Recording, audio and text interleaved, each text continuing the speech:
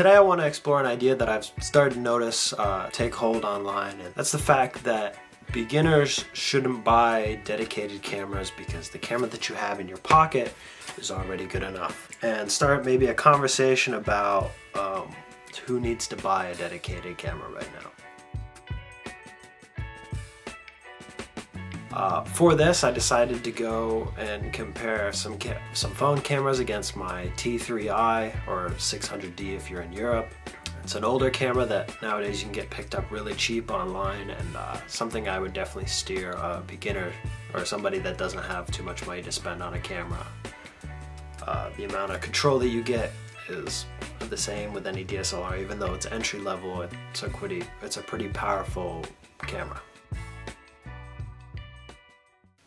This is my Canon T3i that I have permanently borrowed from my mom. It's helped me make a lot of videos on this channel. And this is my iPhone 12 Pro, and it's also helped me make some content on here. For an extra added bonus for this video, I also added this Samsung A21s, which is the cheapest phone that I could get at the local phone carrier store. And just a disclaimer, I'm not going to get super in depth with the things that I'm looking at with these cameras since I don't really quite have the resources nor the know-how. I simply just want to express some details about these cameras that your average person might not realize.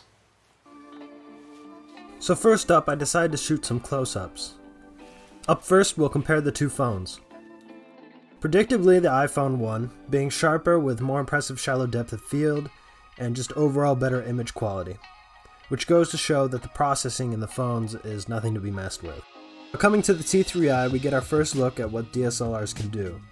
While the image from the iPhone was usable, the DSLR's colors and ability to get a truly pleasing blurry background makes the image far more interesting.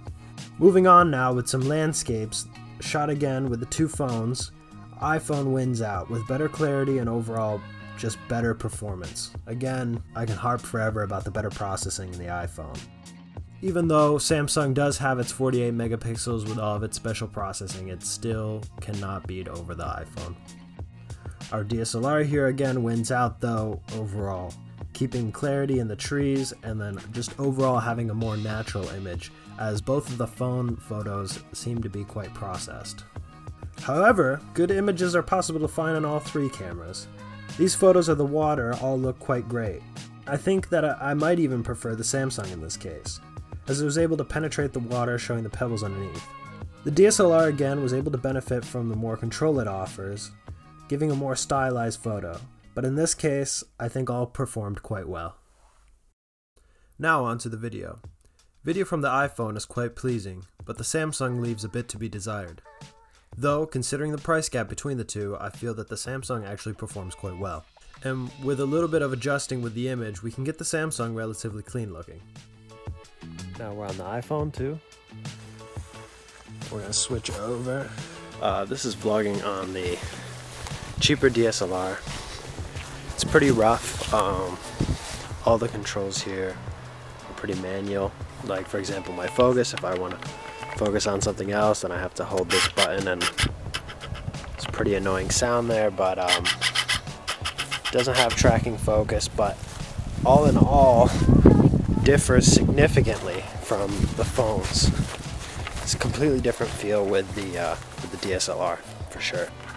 Uh, there we go. I just fixed a little bit of the the exposure. Like I said, it's it's a real pain in the ass to try to change everything there. So that's the big thing about the phones. It's just really just a point and shoot. Uh, but you do get uh, you know a lot more control with the DSLR and the switchable lenses, which is, you know, a big plus versus whatever they're going to stick on the back of the phone for you to use. It's a big difference. Um, but with the iPhone, it's far nicer. Uh, it's stabilized. Um, and, and, while it's got a bit of a, of a different look to it, it doesn't quite have the same DSLR feel. Far more convenient if I do need like an extra shot, if I'm editing and I realize I've, I've missed out on something, then um, I'll always grab my iPhone and then just grab it quickly because it's good enough. And a lot of popular channels nowadays are just using their iPhones. And even this rear camera, which is uh, not as good as as the front is is perfectly fine enough. So that was a quick look at what you could expect from either using your phone or a DSLR.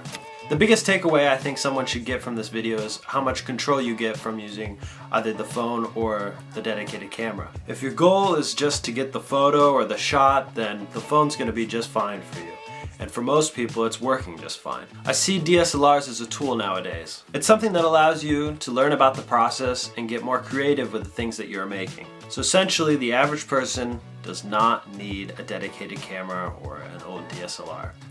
I think that's a conclusion that not many people would be surprised at. Anyone that wants to get into photography or any sort of content creation, I can strongly advise toward a dedicated camera.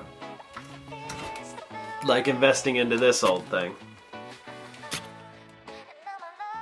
Thank you so much for watching. I'm still quite new to making this sort of content, so all the support that I've been getting recently has been really great. And if you could leave a comment or hit the subscribe button or even just leave some feedback in the comments, it'd be truly appreciated. Thanks for watching and goodbye.